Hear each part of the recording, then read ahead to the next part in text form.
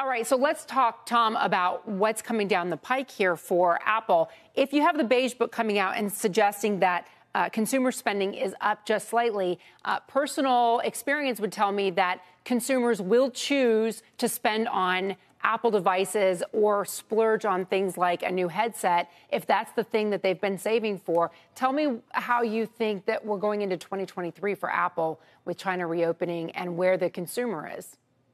So China reopening is a huge short-term boost for Apple and consistent with our view that the sales that were lost in the December quarter will be captured in the March quarter on uh, the China's, China's zero policy in the December quarter and that they weren't lost entirely. So I think that, as you pointed out, Contessa, consumers' willingness to spend uh, their discretionary income on Apple products, despite macroeconomic challenges, bodes well. What also bodes well is that the wireless carriers are essentially subsidizing the next generation iPhones to support their 5G network spend. So Apple's proven that it can do well even in a challenging macroeconomic environment. So, so where are the headwinds, Tom, for Apple? China is still a headwind. So, on a near term basis, the good news is that you're going to see a rebound in consumer spending and the supply chain situation has improved.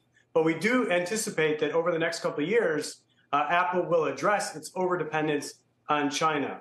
Uh, the other good news, though, is that they had a projection of a 10 percentage point negative impact from a strong dollar in the December quarter.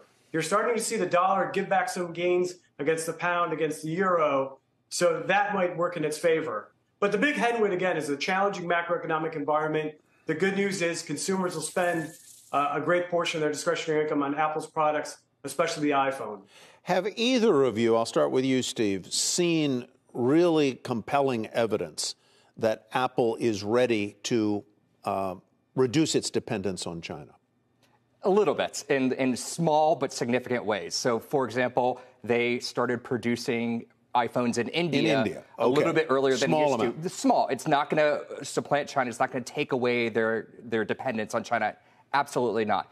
Other places. And obviously, they don't want to tick off China, Yeah, of course uh, by not. saying of course we're not. moving our production here. Right. I mean, it, it would be Of course, not. and also their silence spoke volumes about the protests that we saw. You know, they said they were Yes. monitoring it, but we heard nothing from Apple about you know the ramifications of those protests and and frankly horrifying footage that we saw out of there. Yeah. So that that's one issue. The other issue, so there are little pockets of places looking. Vietnam, Malaysia, those are all hot spots right now where they may turn to to start producing more products. A lot of that right now is happening, but it's mostly the accessories, the AirPods, the watches, some Macs, and Mm-hmm, we, things like we that. had a segment yesterday on value-driven leadership, and, and, and Tim Cook was mentioned as one of the people who leads with values. Yes. That was not a case where he led with values, it No. would seem to me. Uh, Tom, let me ask you that same question. Do you see real, serious, at scale um, and attempts by, by Apple to, to, to not rid itself of its dependence on China, but reduce its dependence on China?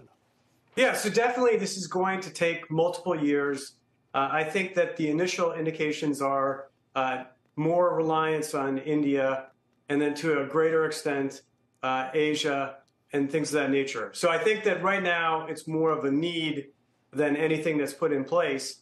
But I do expect that this is Tim Cook's, you know, forte, uh, pun intended. Yeah. And I do think that he's going to address this over time. And over the course of the next couple of years, they'll be a lot less dependent on China than they are today, which really is the biggest risk to the stock. All right. Uh, Tom, thank you very much. Steve, great as always Thank to you. see you. Thank you.